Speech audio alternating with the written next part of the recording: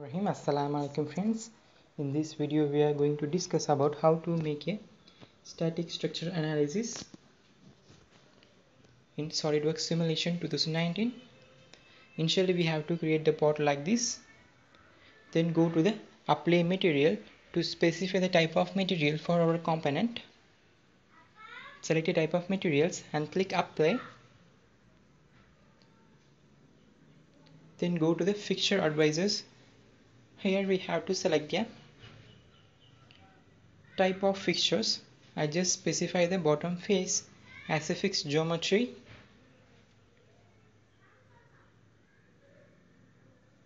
Again I go to the fixture advisor and select a elastic support. Here we have to specify the elastic supports. For example it is a spring support like this then go to the external loads here we have to apply the force in terms of Newton in required direction.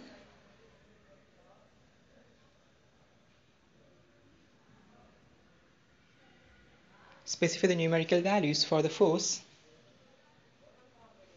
After specifying the magnitude of force just click OK if you want to split the force you can do by the split option. In this analysis I don't want to split the load. Then go to the create measures to accurate the results. Mesh generated successfully then go for the run this study for generating the results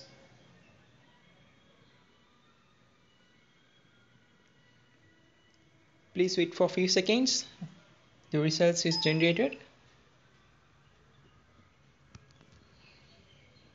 Now the von Mises stress and displacement uh, then strain equivalent von Mises stresses it generated successfully here. We can animate it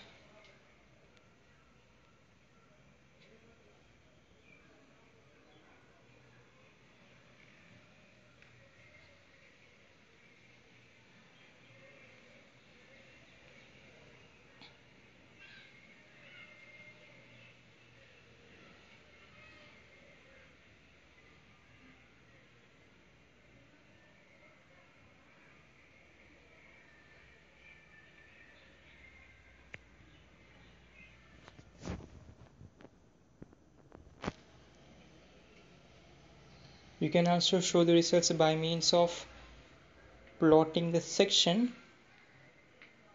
Now the plotting the section is activated now. You can see the results in the component by using plotting the sections. To get the regular updates of my video, please subscribe in my channel. Don't forget to like and share. Inshallah, we will meet in the next video. If you have any doubts in this video, please post in my comment.